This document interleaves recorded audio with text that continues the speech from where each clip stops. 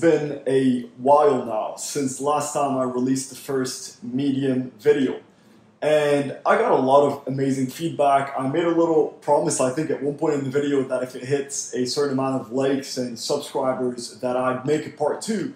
And it did. The video actually did really well, and I never ended up making part two. I was getting a lot of messages from people. Majority of people who sent me messages uh, were either saying thank you or they were having issues applying some of the things that I taught them. And um, I went into their blogs and I was actually able to read several of the articles that they uploaded. And I was able to pinpoint some of the uh, main issues that they were running into. So if you are struggling in increasing your views on Medium, your engagement rates, uh, you want to grow your blog on medium.com a little bit more, get more views, more exposure, more likes and claps, uh, this is the perfect video for you. I'm not going to make it too long. I'm going to cut straight to the chase. I'm going to get right to the point.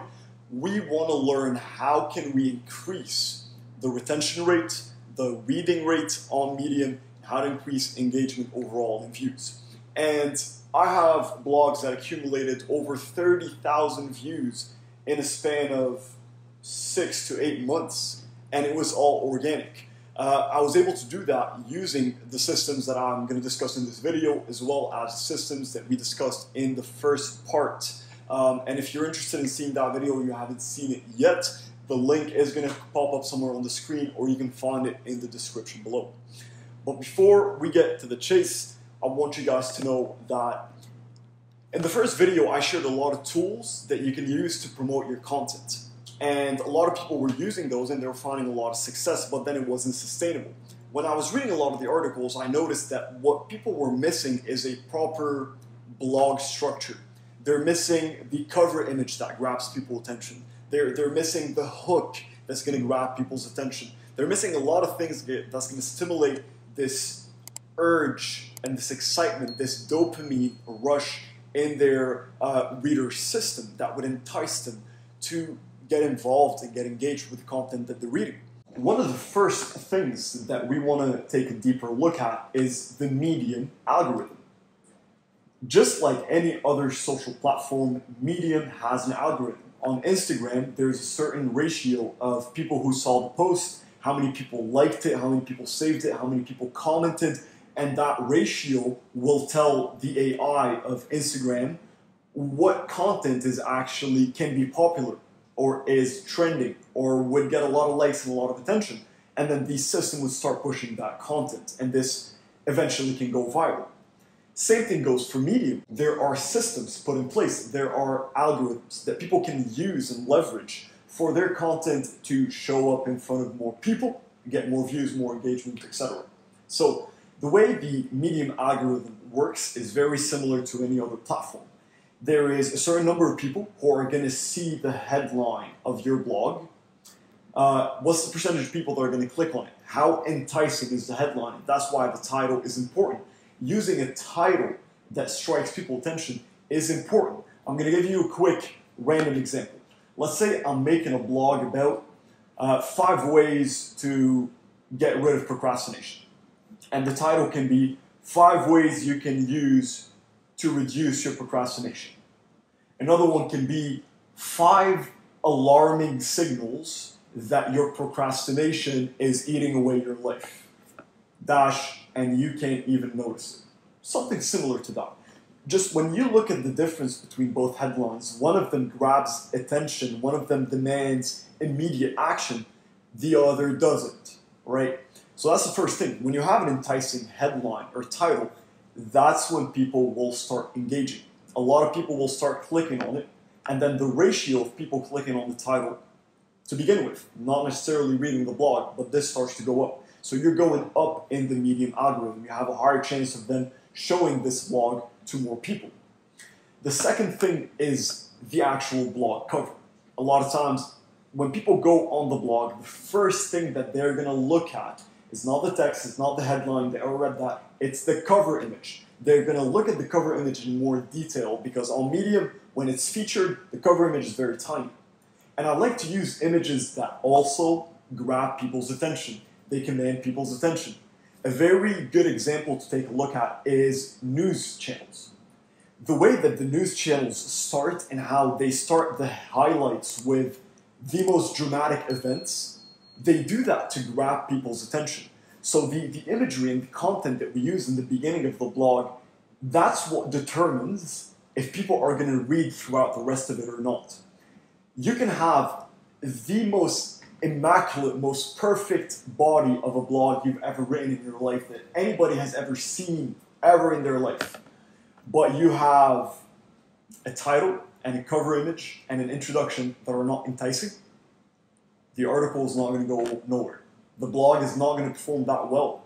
Reason being is because people's attention span is a lot shorter you have about 4 to 12 seconds to make a first impression. Within 4 to 12 seconds, people decide whether this is something that they want to read or not. This is why the headline, then the cover image, and some of the images, some examples are going to pop up on the screen next to me um, to kind of show you some of the cover images that I've used. And as soon as you see them, you can see how those would grab people's attention. Picture a a Marvel magazine back in 1980 that was bestselling. The cover image looked wicked, right? Imagine newspapers and journals that went to get a lot of sales. The front page of the newspaper, there was always a big picture and a big title with a big highlight that emphasizes the most dramatic events that the journal is covering or the magazine is going through. Same thing. You want to use an image that slaps. You want to use an image that demands attention. You want to use an image that stimulates curiosity. Maybe you have a picture of, let's say you're making a blog, an interview with two entrepreneurs, right? You put the cover image as their photo, but you blur their images. If you just blur their images for no freaking reason, people are more curious. They're like, why are these people's faces blurred? They read the title, it's enticing, let me read. Who are these people? People are curious, people are driven by curiosity. That's the main thing that stimulates dopamine inside of their system. That's why they say when you reach your goal, you're not motivated anymore. Motivation comes in within the journey, right? And same thing for people you need to keep them curious. You need to keep them excited as to what is coming up next in order to really grab their attention.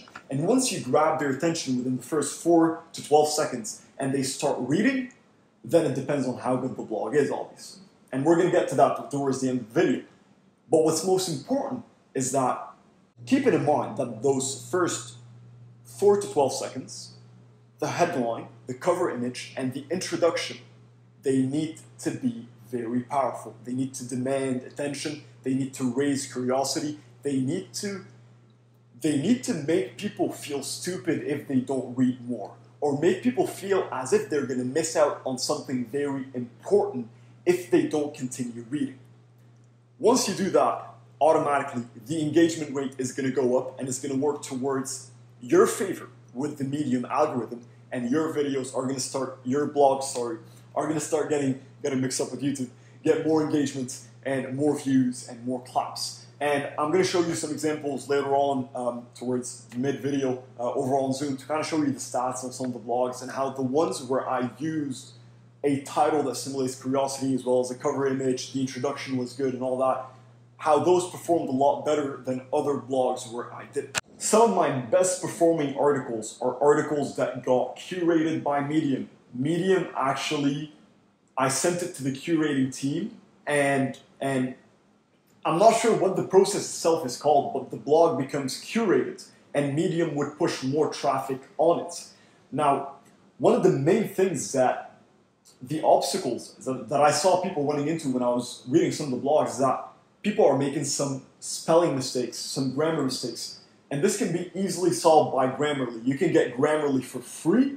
I'm going to put the link in the description below. You can get it for free and you will not need anybody to proofread your content. You will make sure that your content is properly set up because when the Medium team is going through an article, even if it's, again, the most amazing article they've ever read in their life, if they notice that there's grammar mistakes, they're not going to push this content to become curated because it looks so bad on their end that they are pushing curated content from medium.com that has grammar mistakes and spelling issues. You know, so based on that, you want to make sure that the spelling, the grammar, everything is good, and this can easily be solved using Grammarly, or you can go on Fiverr.com, hire a proofreader. Uh, it's really not that expensive, but just make sure that your content has been proofread and everything is good in terms of grammar, spelling, structure. Number three, once you release your blog and it's good and you submit it to see if Medium is going to pick it as a curated blog, you want to submit it to as many publications as possible. It's free, it takes literally 30 seconds, and it will help you a lot if your content gets published on within other publications. Um, one of my best blogs that you're going to see on the screen right now, if I'm not mistaken, it's the um, uh, related to the brain capacity. Do we only use 10% of our brain capacity? And this I submitted this to, um, back then it was called the Startup um, Publishing. Uh, right now, I think it's called something different. We're going to check it in the video in a second. Uh, but this video performed so well just because it was it was featured on this publication. So that being said, it doesn't cost a dime. It costs 30 seconds for you to go in and check all the different publications within the categories from which you're writing the blog for. Pick some of those, send the blog to them, and see if they would add it to their publication. If you actually write something enticing, and that's the purpose of, the of this video, if you actually write something enticing, and that's the purpose of this video, is to help you write enticing content, then a lot of those publications will actually want to feature your content because you will also bring them more retention and more views and more fans. So it's a win-win strategy. The only thing you need is to make sure that your content is good enough to cross that border and start becoming curated, becoming uh, featured on different publications, and then the traction of people reading it will help push it to get more views and more engagement. Now, for the second section of this video, where we're going to talk about how to structure your blog properly, we're going to be transitioning to the screen back there. Alrighty, so now getting a bit more to the technical side of things, I wanted to share one of my best blogs as a good example for you guys to see what I meant by everything I said. Now first, you can notice that the title, Do We Only Use 10% of Our Brain Capacity? with a mind-blown emoji. This title, in and on itself, would grab people's attention. If you're scrolling and somebody on Instagram says, Today we're going to talk about whether or not we only use 10% of our brain capacity. Boom, enticing. You're like, oh, do we or do we not? And you want to know a little bit more. And then the mind blown emoji that kind of shows them that whatever they're going to read is going to be mind blowing and shocking. And then the cover image. Oh my god, the lady's freaking out. It's like, okay, what are we about to find out in this article? This this just raises their level of curiosity to a whole different level. And that's exactly what we spoke about, right? Now, this part right here is what I would consider the main introduction to the blog, right? After that, it's up to you and how good the blog is. But first, headline, second, cover image, and third, the introduction. In this article, I'm going to introduce you to the real potential of the human brain that you have access to. People are like, okay, this paragraph right here gets everybody, and you guys will know why as soon as I read it. I want to start off by telling you some things about your brain that you might not currently know. Right. There's this experiment where lab mice were conditioned in a certain way. A bell would ring, then the mice would get an electrical shock. I know a lot of you right now are thinking that this is unethical, and I agree with you, the experiment is not very recent, but stay with me for just a minute here. The shock experiment was conducted on the lab mice for a period of time until they gave birth to newborn mice. Those newborn mice were also exposed to the electrical shock experiment. Same thing happened again. They kept receiving the electrical shocks after a bell rings until the second generation of lab mice gave birth to the third generation of lab mice. The third generation of lab mice had the same experiment conducted on them as well until they gave birth to the fourth generation of lab mice. Here's where it gets interesting. The fourth generation of lab mice were not exposed to the electrical shock treatment. They never heard the bell, and they never got any electrical shocks. However, when they heard the bell rings, they flinched. Let that sink in for a second. How is that even possible? As soon as you read that, you're like, damn, how, how is that possible? And that's what pushed people to read more and more and more. And this article got featured in the startup uh, as one of the Medium publications and gained a lot of traction. First, because it was featured there, and it was featured there because it met certain elements. The introduction slapped, cover image was good, the title was enticing, it grabbed people's attention, and all of those elements were met, right? As soon as you do that, you're gonna take your um, your conversion rate and you're gonna take your engagement rate to a whole different level. And then it's up to you. You guys can see there's 468 people who clapped at this because the article itself was really good.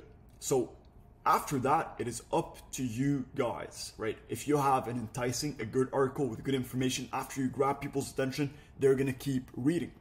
I'm gonna take a look. Take a quick look here at some of our stats.